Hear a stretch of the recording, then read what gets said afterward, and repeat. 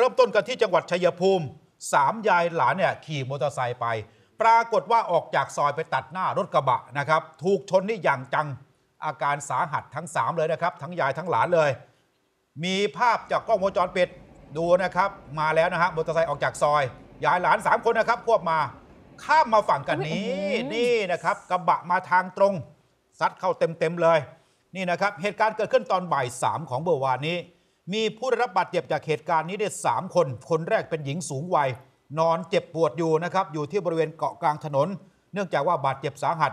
แล้วก็มีเด็กหญิงอายุประมาณสักสิขวบอีก 2 คนเนี่ยนะครับได้รับบาดเจ็บซ้อนมากับยายว่าอย่างนั้นมีแผลตามร่างกายนะครับหน่วยกู้ภัยก็นำตัวเด็กแล้วก็ผู้ใหญ่นำส่งโรงพยาบาล สอบถามคนขับรถกระบะ นายอิทธิพลผู้ขวัญพงศ์นะครับบอกว่าก็ขับมาจากอำเภอจตุรัสชัยภูมิเนี่ยจะกลับบ้านที่ภูเขียว มาที่จุดเกิดเหตุมอเตอร์ไซค์เนี่ยตัดหน้าคือเลี้ยวออกจากซอย แล้วก็ตีวงกว้างมากเออนะฮะแล้วก็เบรกไม่ทันว่าอย่างนั้น เบื้องต้นเอาเอาผู้บาดเจ็บไปรักษาให้ดีก่อนนะครับแล้วก็จะเอาตัวมาสอบเพิ่มเติมนะฮะแล้วก็มีการพูดจาเรื่องค่าเสียหายกันต่อไปอีกหนึ่งเหตุเกิดขึ้นที่บึงสามพันจังหวัดเพชรชบูรณ์คุณผู้ชมคะ เป็นอุบัติเหตุที่เกิดขึ้นบนท้องถนนเมื่อพ่อหนุ่มคนนี้เนี่ยขับรถกระบะขนชิ้นส่วนไก่หนักตั้ง 3 ตัน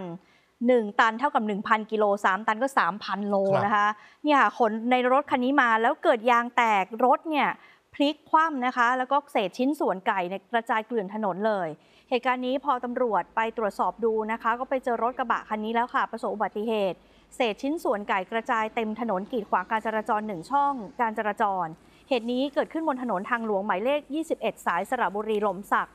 ตรงบริเวณหลักกิโลเมตรที่ 139ถึง140 หมู่ที่ 9ตำบลทรัพย์สมอทอดอำเภอบึงสัมพันธ์จังหวัดเพชรบูรณ์ เป็นกระบะอิซูซูสีเทานะคะ ป้ายทะเบียนเพชรบูรณ์สภาพเนี่ยเสียหายเกือบทั้งคัน ยางรถด้านหลังแตก 2 เส้นค่ะ มีไก่ที่ขนมาหนักประมาณ 3 ตันกระจายเกลื่อน ยังเจอร่องรอยการถลายของรถกว่า 50 เมตร ตามพื้นถนน มีชาวปทุมธานีเป็นคนขับชื่อว่าบรเชษเพชรศรีนะคะ ตามร่างกายไม่พบร่องรอยการบาดเจ็บแต่อย่างใดเนี่ยค่ะนี่ลักษณะเป็นยางแตกแบบนี้นะคะเนี่ยค่ะ อไปสอบถามคนขับรถกระบะวรเชษฐ์บอกว่าตัวเองเนี่ยขนชิ้นส่วนไก่มา จากจังหวัดนครราชสีมามาส่งให้ลูกค้าที่เพชรบูรณ์ จุดเกิดเหตุยางหลังรถแตกค่ะ รถเลยเสียหลักถลายไปออกไปตั้ง 50 เมตร โชคดีตัวเองไม่ได้รับบาดเจ็บ เป็นเพราะว่าเชื่อในบารมีเสียนพ่อแก่ แล้วก็หลวงพ่อทองกลึงจากวัดเจดีย์หอยจังหวัดปทุมธานีที่ตัวเองคล้องคอเอาไว้ เคยเกิดอุบัติเหตุแบบนี้มาแล้วนะคะ ยางระเบิดมาแล้วหนึ่งครั้งก่อนหน้านี้ ก็ไม่ได้รับบาดเจ็บเช่นเดียวกัน ครั้งนี้ก็แคล้วคลาดค่ะอืมส่วน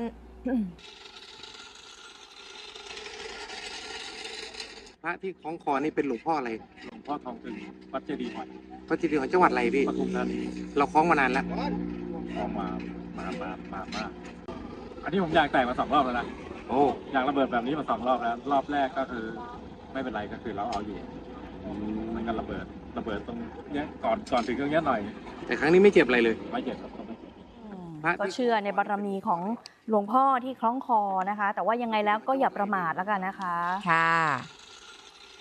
เรื่องนี้เนี่ยเกิดขึ้นกับ หนุ่มคนหนึ่งซึ่งอดีตเนี่ยเขาเคยเป็นทหาร แต่ว่าหลงผิดไปยุ่งเกี่ยวกับยาเสพติด แล้วเสพจนหนักเสพจนหลอนค่ะ เห็นข้าวของภายในบ้านเนี่ยเป็นผีไปหมดเลย เอาไม้ไล่ทุบทำลายข้าวของในบ้านคนในบ้านก็อยู่ไม่ได้ด้วยนะคะ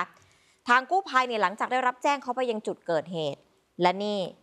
ยิ้มหวานนะคะ เหมือนยังพูดไม่รู้เรื่องเลยนะคะครับคนกลางนะคะ คนกลางนะคะที่ยิ้มหวานนะคะ ที่ไม่ใส่เสื้อเนี่ยนะ อภิสิทธิ์พัฒนเชียนอายุ 36 ปีค่ะ ต้องล็อกตัวเอาไว้เลย เพราะว่าก่อนหน้านี้เอาท่อนไม้ไปทุบทำลายข้าวของในบ้านห้องนอนห้องครัว กระจกบานเกล็ดตู้เสื้อผ้าโต๊ะเก้าอี้หิ้งพระ กระเบื้องหลังคาทะลุเป็นรูแบบนี้เลยค่ะทรัพย์สินภายในบ้านนี่พังเสียหายไปหมดเลย สารพระภูมิเจ้าที่ด้านหน้าก็ถูกทุบทำลายไปด้วย นี่นะโอ้โหถามว่าเกิดอะไรขึ้นอภิสิทธิ์อภิสิทธิ์ยอมรับว่าอดีตเนี่ยเขาเคยเป็นทหาร แต่ก็หลงผิดไปยุ่งกับยาเสพติดจนถูกไล่ออกค่ะ กลับมาอยู่บ้าน เมียเห็นว่ากำลังมั่วสุมยาเสพติดหนักขึ้นหลอนเมียก็อยู่ไม่ได้เหมือนกันเลิกราหนีกันไปนะคะ ตอนนี้อยู่ตัวคนเดียวมันเครียด ยิ่งเครียดก็ยิ่งเสพหนักขึ้นจนเกิดอาการหลอนรายวันค่ะ ล่าสุดก็เห็นว่าข้าวของในบ้านเนี่ยเป็นผีไปหมดเลยก็เลยเอาไม้ไล่ตีไล่ทุบจนพัง ส่วนผู้เป็นพ่อเห็นลูกชายอาการหนักขึ้นบอกโอ้ไม่ไหวเหมือนกัน ขนาดข้าวของในบ้านยังพังขนาดนี้ แล้วต่อไปคนในบ้านหัวจะแตกหรือเปล่าก็ไม่รู้นะคะครับก็ต้องให้ตำรวจควบคุมตัวจะไปบำบัดหรืออะไรก็ว่ากันต่อสารพระภูมินอกบ้านนะครับก็เอาไม่อยู่เหมือนกัน ใช่ค่ะอ่าตีจนพังหมดนะครับอืมไปที่จังหวัดกาญจนบุรี งูเขียวตัวเดียวก็สร้างความหวาดเสียวทั้งบางว่าอย่างนั้นโอ้งี้งูเขียวแล้วเสียวด้วยนะ ใช่ครับใช่ครับเนื่องจากว่าเลื้อยไปบนเสาไฟค่ะ แล้วก็ตัวเนี่ยไปพาดกับสายไฟมันก็ช็อตอืมพอช็อตปั๊บเนี่ยปุ๊บปั๊บปุ๊บปั๊บเลย เกิดไฟไหม้ชาวบ้านก็บอกว่าโอ้โหแบบนี้มันจะลุกลามนะดูนะฮะอืมน่ากลัวนี่งูเขียวตัวเดียวสาเหตุเป็นเพราะแบบนี้เนี่ยรถดับเพลิงก็มา เหตุนะมันเกิดนะครับอยู่ที่บริเวณเนี่ยก่อนถึงโรงพยาบาลพหลพลพยุหเสนาถนนแสงชูโตอำเภอปากแพรกจังหวัดกาญจนบุรีนี่นะครับ พอคือตอนแรกมันไม่ไหม้ขนาดนี้ แต่ว่ามันพลึบปั๊บเนี่ยมันลามทันทีเลย ขณะที่รถดับเพลิงมาก็ยังพึบพับพึบพับอยู่เลย ชาวบ้านก็เกรงว่ามันจะลุกลามว่าอย่างนั้นเถอะนี่นะครับพอรถดับเพลิงมาเอ้าชาวบ้านก็สบายใจนะครับก็ก็ระดมฉีดน้ำไป แต่ก่อนฉีดน้ำเขาต้องมีวิธีการก่อนนะ เพราะมันเป็นสายไฟไงนี่พ่นสารเคมีเข้าไปก่อนแบบนี้ปลืดปลืดปืดเข้าไปนี่นะฮะหลังจากที่ไฟสงบปรากฏว่าไปพบงูเขียวตัวหนึ่งประมาณสักหนึ่งเมตรเนี่ยถูกไฟช็อตตาย เกาะติดอยู่กับสายไฟด้านบนนั่นแหละ บนเสาไฟเนี่ยนะครับ เบื้องต้นคาดว่าสาเหตุไฟไหม้เนี่ย น่าจะมาจากงูเขียวตัวดังกล่าวเนี่ยเลื้อยขึ้นไปบนเสาไฟ และก็ตัวเนี่ยไปพาดกับสายไฟแรงสูง ก็ทำให้เกิดการช็อตปึ๊บปั๊บเลย แล้วก็บึ้มขึ้นนะฮะไฟก็ขโมงโฉงเฉงแบบนี้นะครับอะเขาก็บอกว่าเดี๋ยวต่อไปนี้ก็จะมาดูแลแล้วก็ซ่อมแซมกันต่อไป เพราะว่าเกิดไฟดับอืม2ชั่วโมงอะค่ะเออในจุดนี้ค่ะ